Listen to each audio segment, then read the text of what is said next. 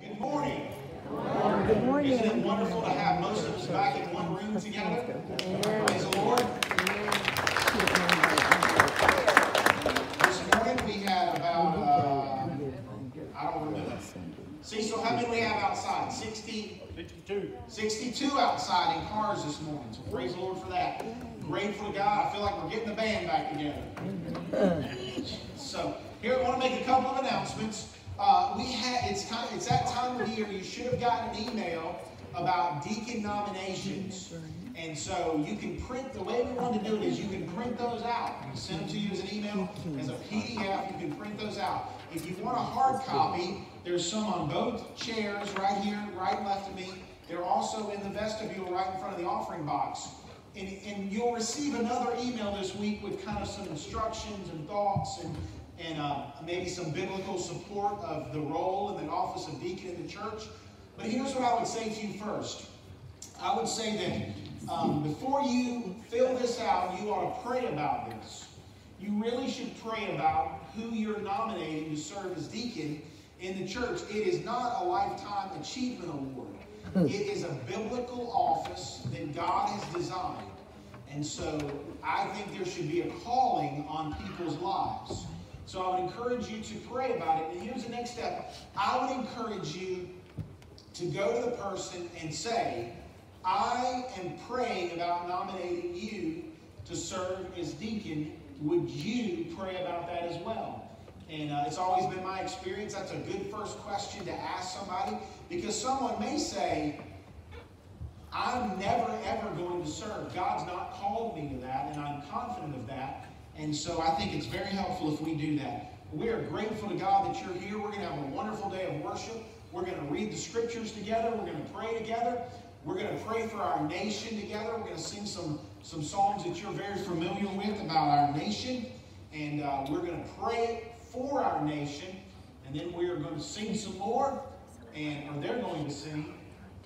I guess if somebody's not in front of you, you can sing.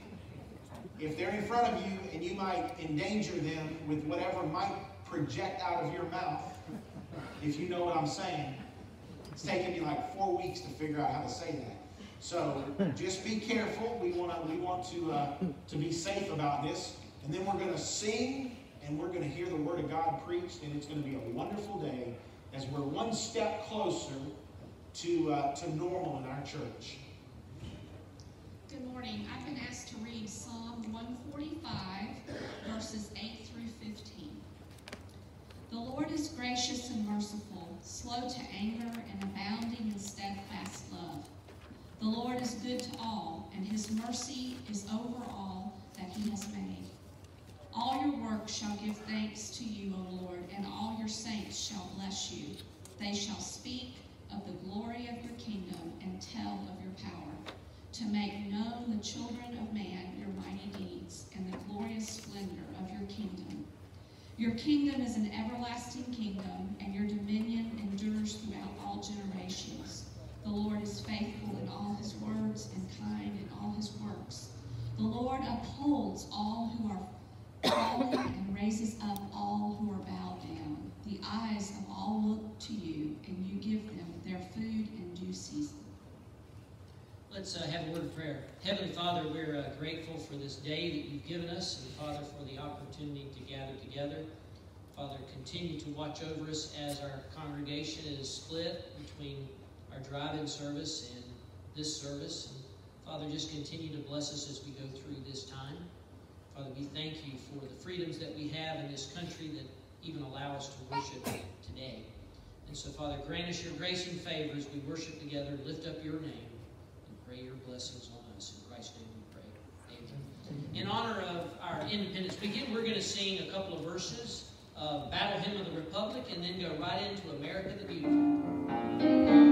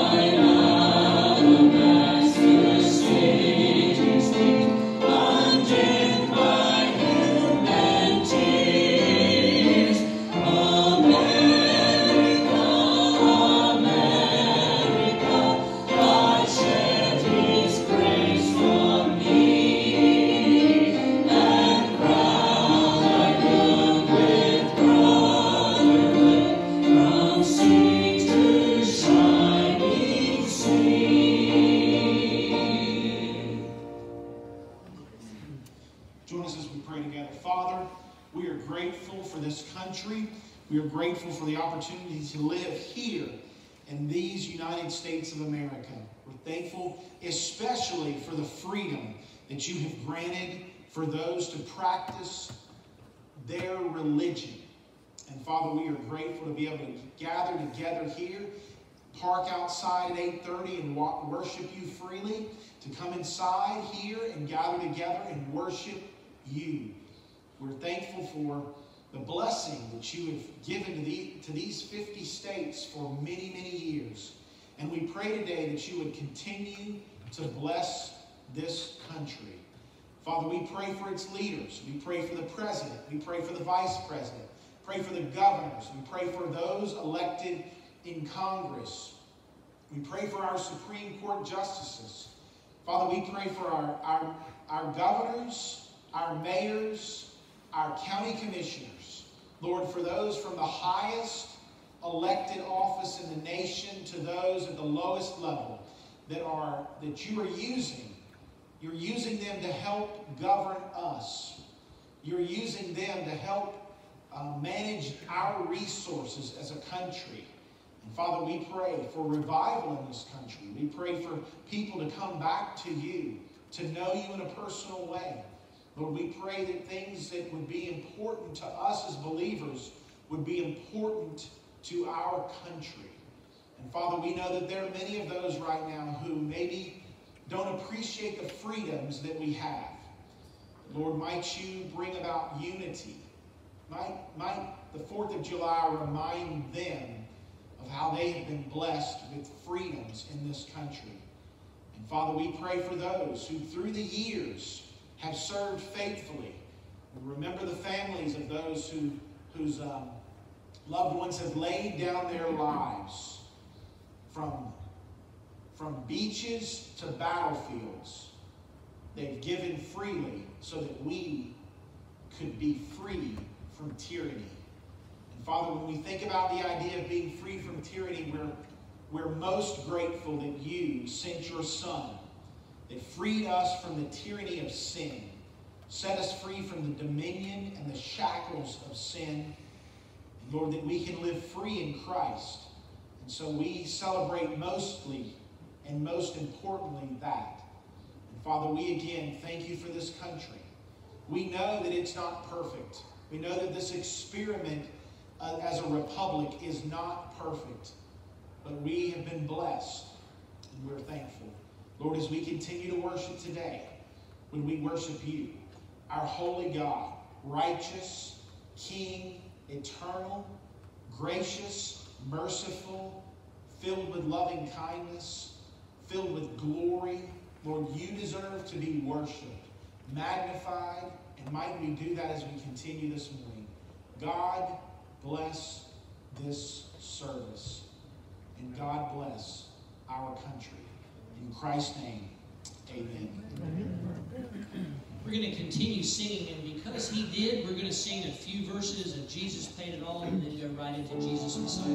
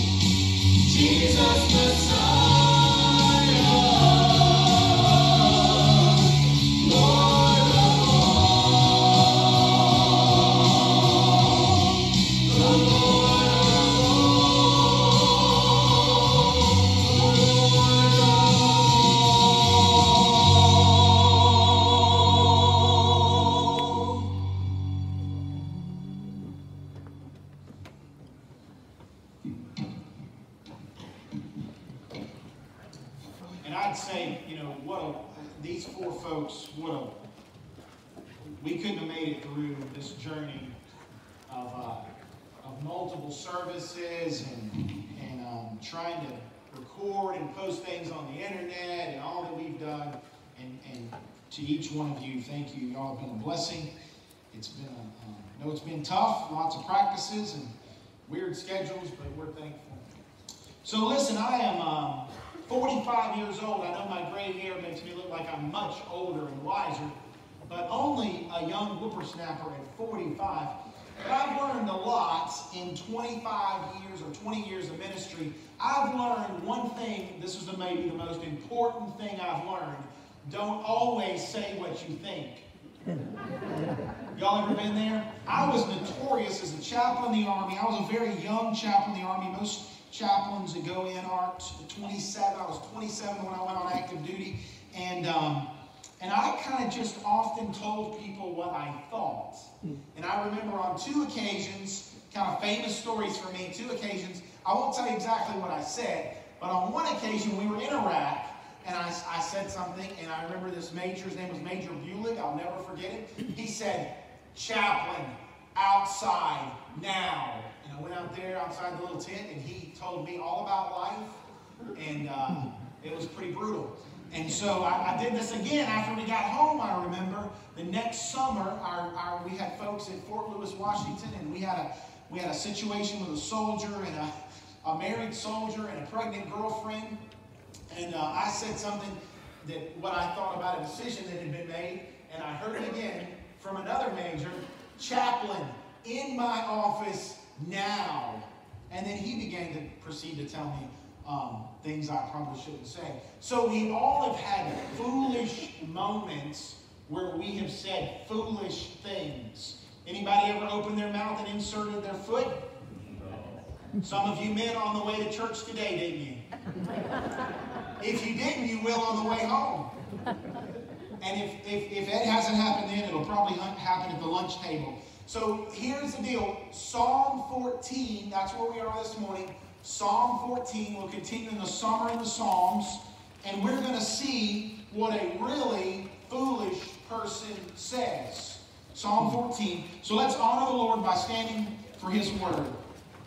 Psalm 14. The Bible says, The fool says in his heart, There is no God. They are corrupt, they are abominable deeds. There is none who, who does good, the Bible says. The Lord looks down from heaven on the children of man and sees if they are, are any who understand, who seek after God. The Bible says they all turned aside. Together they have become corrupt. There is none who does good, not even one. Have they no knowledge, all the evildoers who eat up my people, as they eat bread and do call upon the Lord?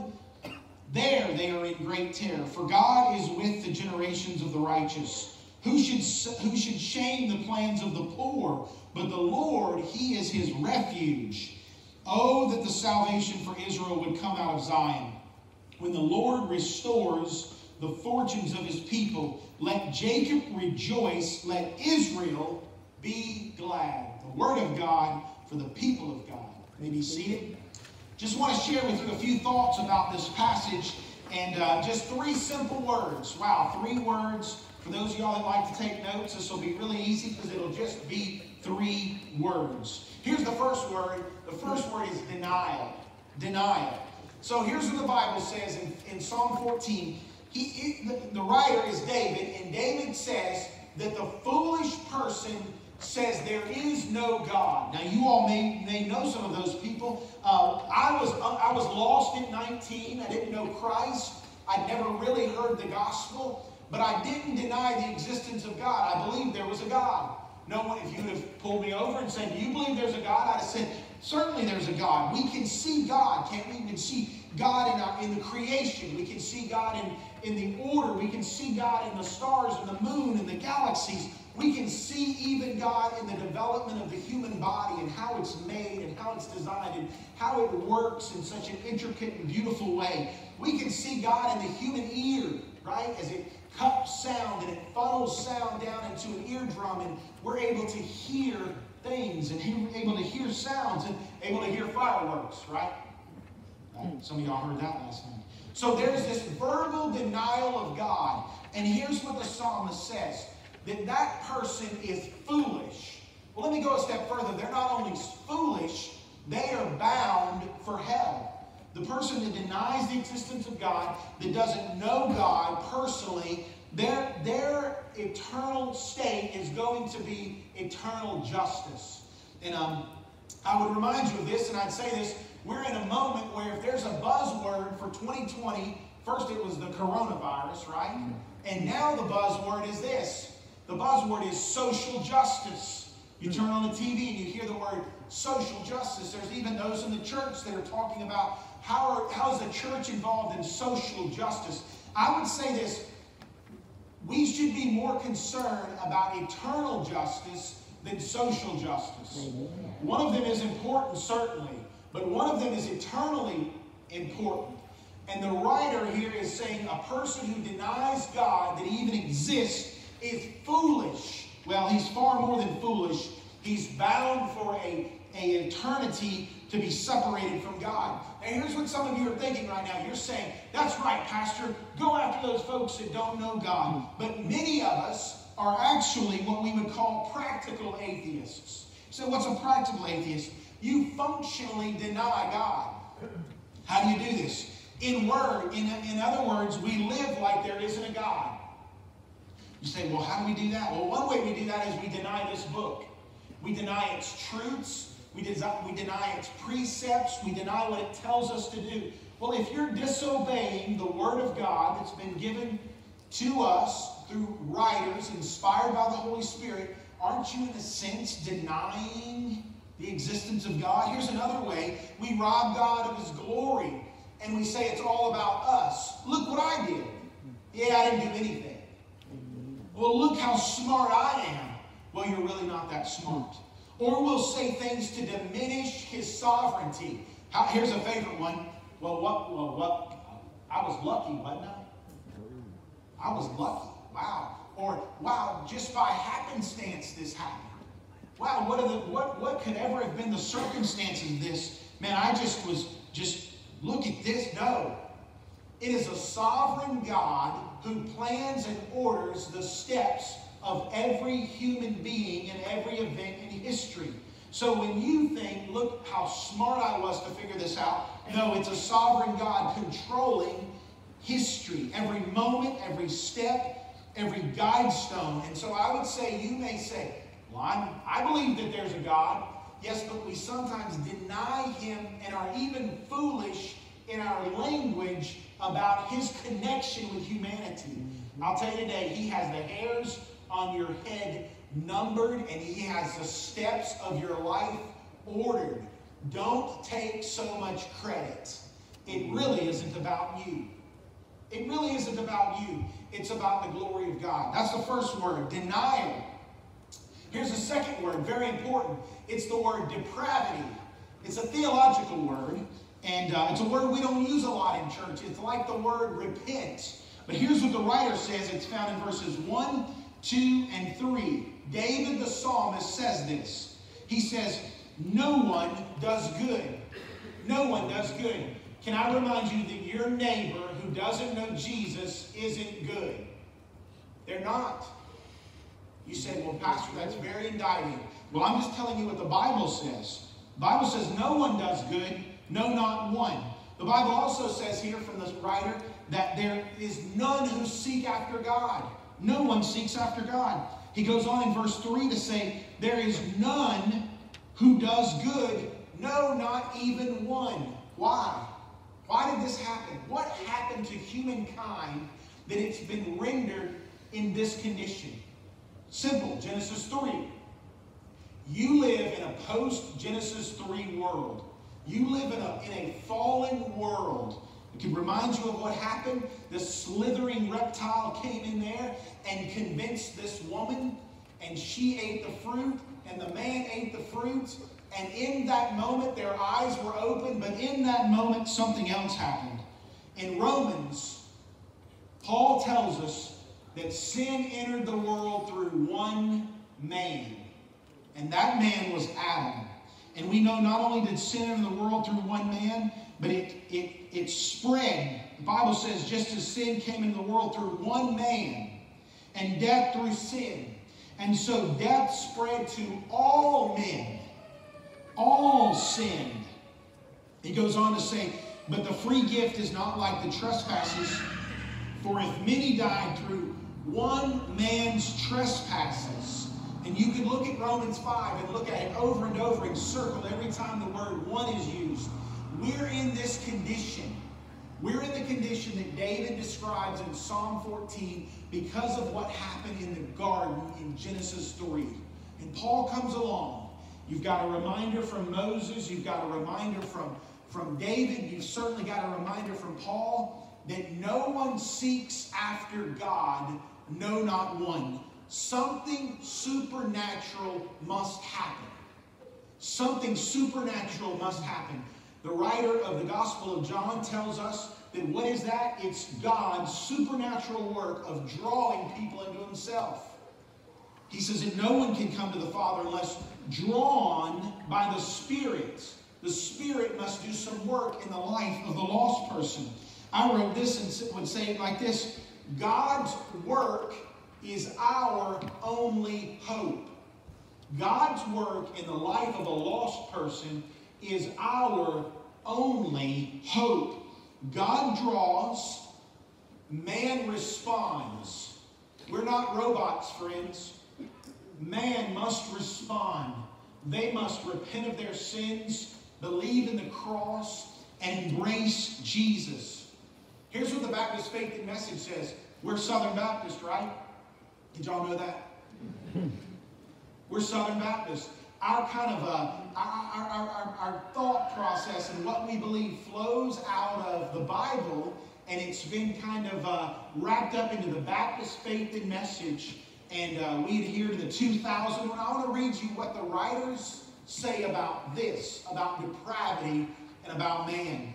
It says, In the beginning, man was innocent of sin and was endowed by his Creator with the freedom of choice. By his free choice, man sinned against God and brought sin into the human race. Through the temptation of Satan, man transgressed the command of God and fell from his original innocence, whereby his posterity inherit a nature and an environment inclined towards sin. Therefore, as soon as they are capable of moral action, they become transgressors and are under condemnation. We all understand this if we've had children, right? As soon as they can, they're going to inflict pain on a sibling. Here's what they go on to say Only the grace of God can bring man into a holy fellowship and enable man to fulfill the creative purpose of God. So, what does that mean for you?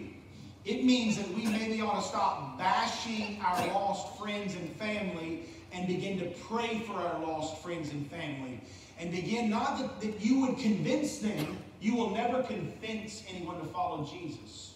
What you will convince them of is to embrace Christ after the Spirit does its work. And so we should pray that God does something supernatural in the life of our friends and family.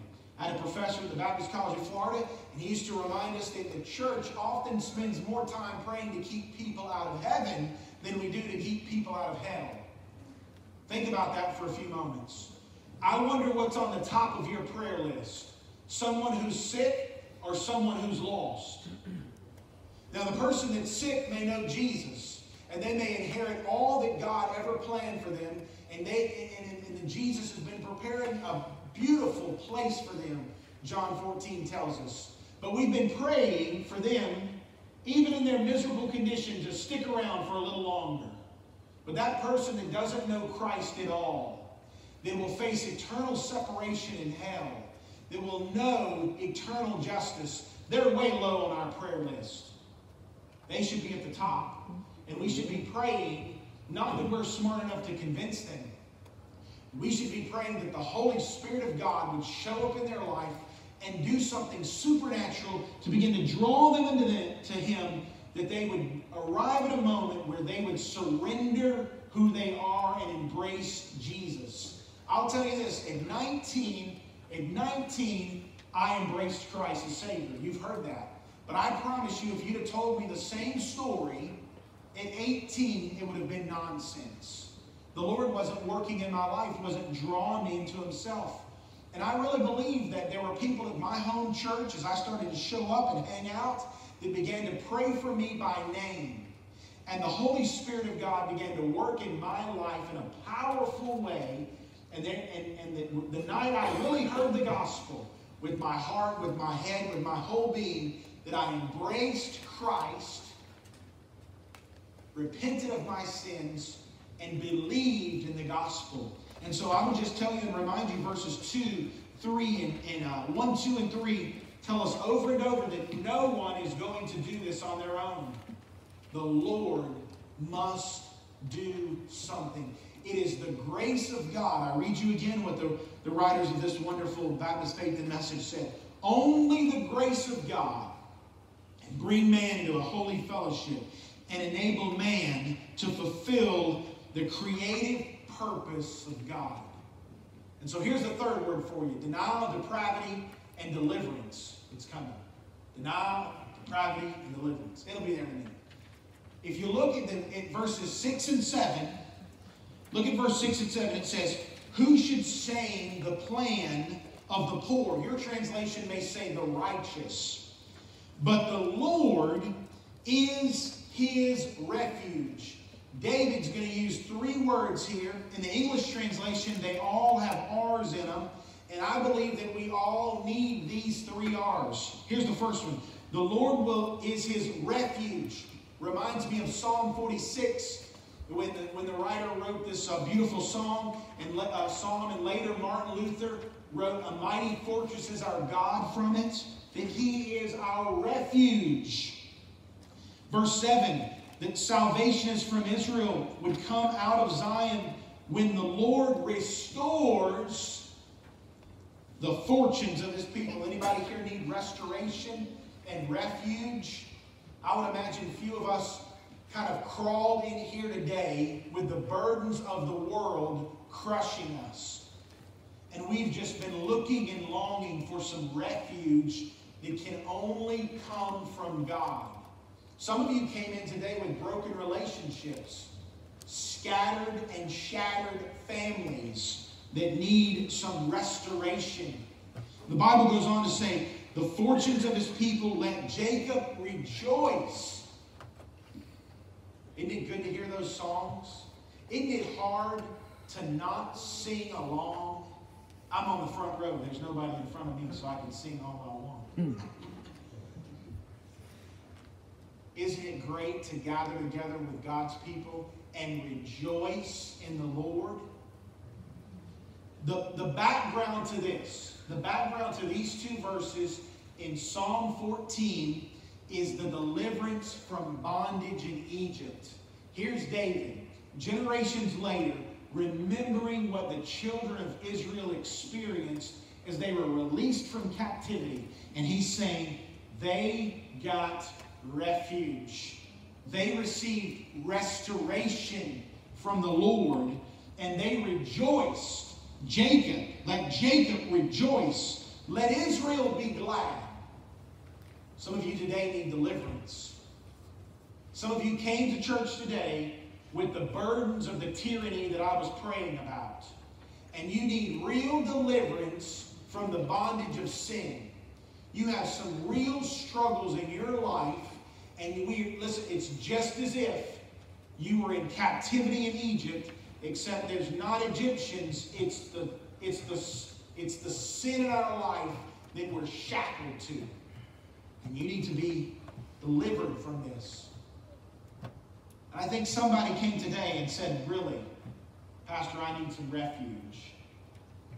It's like Psalm 46, like I said, and the, and the picture of Psalm 46 is a castle that you can climb into with a large wall that would be a place of refuge from your enemies. And again, as I told you last week, David knew about enemies, didn't he? And so the Bible says that you can be restored.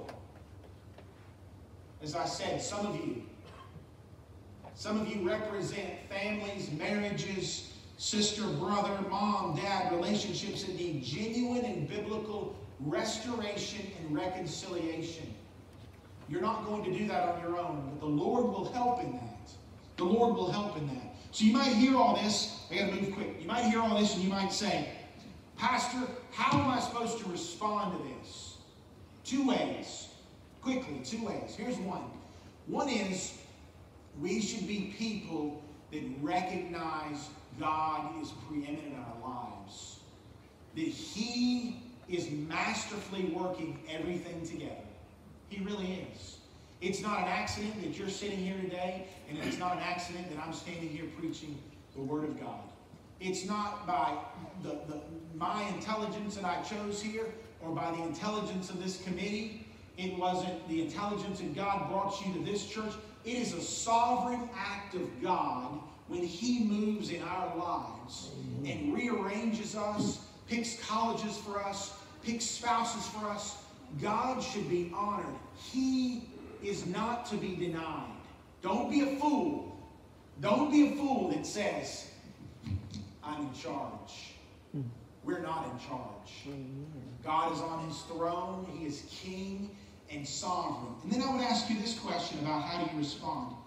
How do you pray for your friends and your family? The Bible says those that deny God are fools.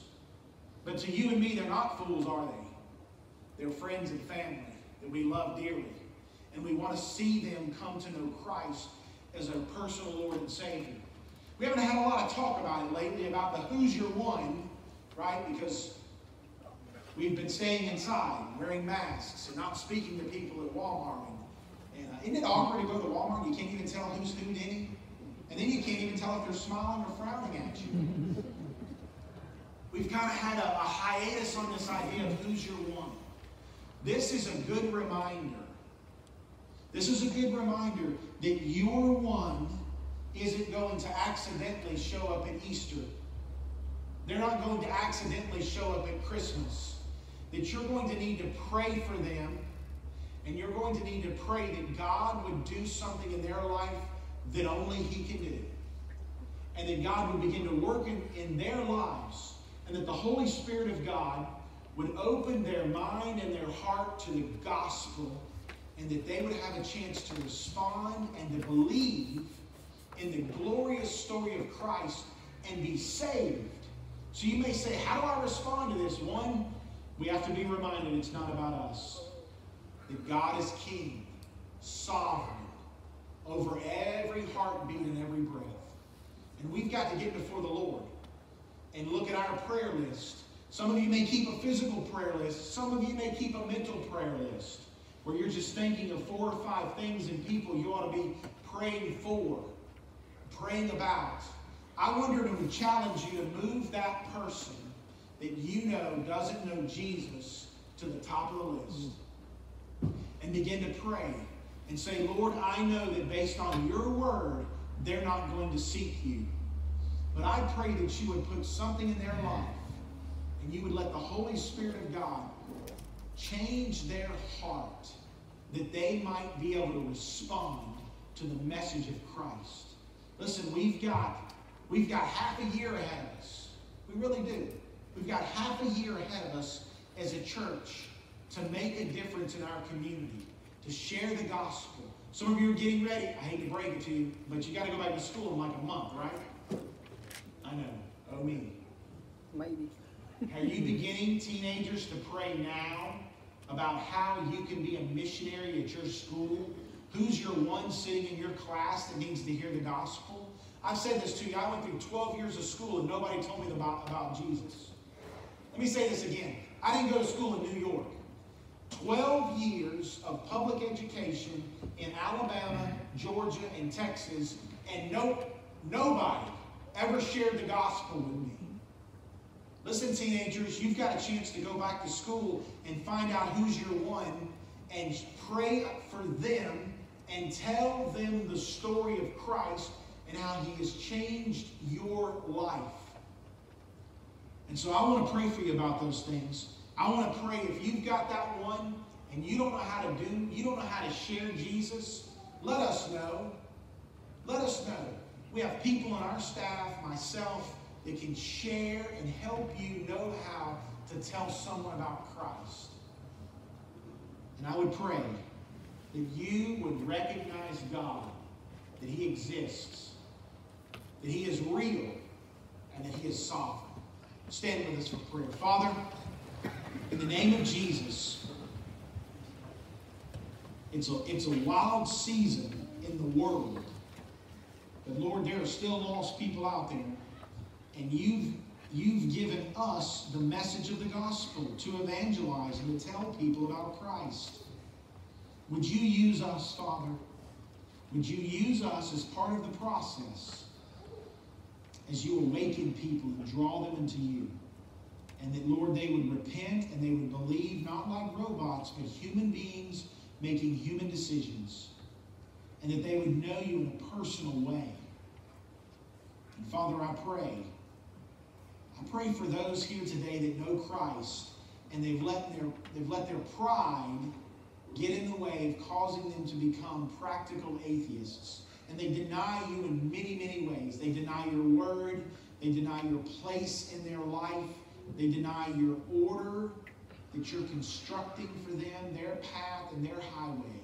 Lord, let us repent of that and that pride, and let us let us embrace you as King, eternal, just God that loves us and deserves glory. It's in Jesus' name we pray.